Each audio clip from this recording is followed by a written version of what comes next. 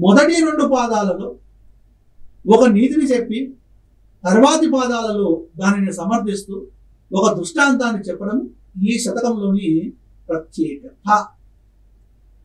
దాశరథి శతకము కాదు చిత్త శతకము కాదు నారాయణ శతకము కాదు భాస్కర శతకము కాదు. భాస్కర శతకం అవుతుంది ఆన్సర్. నాలుగు ఆప్షన్లు నాలుగు కావట్లయితే భాస్కర శతకం అవుతుంది. ఈ భాస్కర శతకములో ఉన్నటువంటి అలంకారం ఏమిటి అని అంటే దృష్టాంత అలంకారం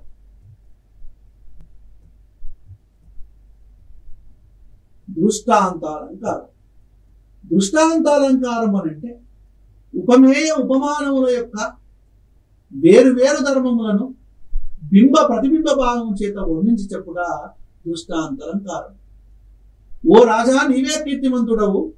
ఓ రాజా నీవే కీర్తిమంతుడవు. కీర్తిమంతుడవు. చంద్రుడే కాంతిమంతుడు. చంద్రుడే కాంతిమంతుడు.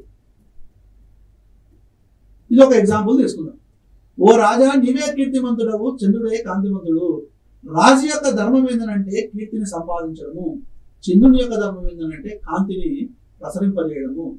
మరి రాజు యొక్క ధర్మము కీర్తిని సంపాదించడం. చంద్రుని యొక్క ధర్మం కాంతిని ప్రసరించలేదు ప్రసరింపజేయడం. అంటే ఇక్కడ కీర్తినేమో బింబం లాగా కాంతినేమో ప్రతిబింబం లాగా తీసుకొని అంటే రాజు యొక్క ధర్మమైనటువంటి కీర్తి వేరు చంద్రుని యొక్క ధర్మమైనటువంటి కాంతి వేరు. ఈ వేరు వేరు ధర్మాలను ఏం చేసినాడంటే బింబ ప్రతిబింబ భావం చేత చెప్పడం జరిగింది.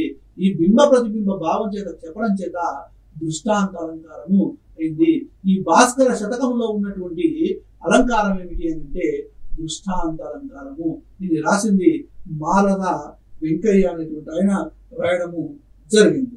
దాశరథి శతకాన్ని కంచర్ల గోపన్న రాసింది చిత్త శతకాన్ని శ్రీపతి భాస్కర కవి రాయడము జరిగింది. అదేవిధంగా నారాయణ శతకాన్ని పోతన రాసినాడు. భాస్కర శతకాన్ని మారత వెంకయ్య రాయడం జరిగింది. భాస్కర శతకంలో మకుటం వచ్చేసేసి భాస్కర. భాస్కర శతకంలో మకుటం వచ్చేసేసి భాస్కర. ఓకే? ఇది ఈ ప్రశ్నకు సంబంధించినటువంటి వివరణ.